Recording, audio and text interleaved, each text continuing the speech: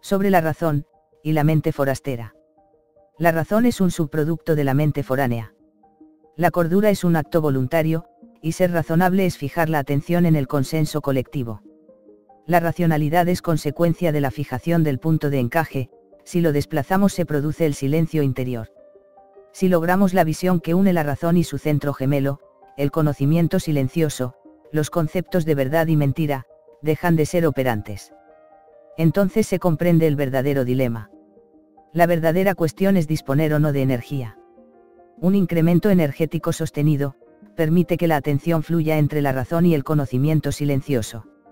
Así, desde cualquier posición que se fije siempre estará divisando los dos lados. Adquiriendo perspectiva y profundidad. Lo que se llama perder la razón, o principio de complejidad. Absolutamente necesario para operar el desatino controlado. Se puede entender como el dominio de los dos lados de un puente simultáneamente. En un lado puedes ver la razón como una red de consenso que es transformada bajo la interpretación colectiva.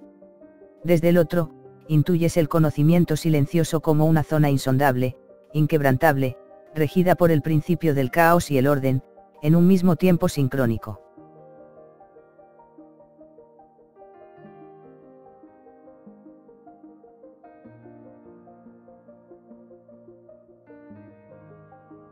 Reflexión. La naturaleza no es razonable, sino que es nouménica, y a priori sería la causa. Y la acción o efecto, su plasmación.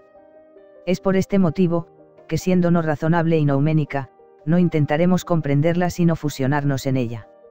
Ser doble, y reconocerlo, es hacer conexión con uno mismo, fluir entre dos puentes. Las instituciones académicas programan para corroborar una determinada descripción del mundo, la cual impide entregarse por entero al reconocimiento, y por tanto, al conocimiento. Noúmeno es la contraparte de fenómeno.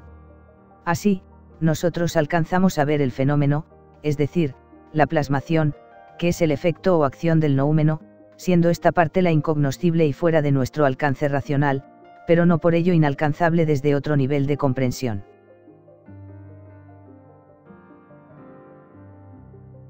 Entra en las pantallas finales para obtener más vídeos de este tema y de otros de tu interés.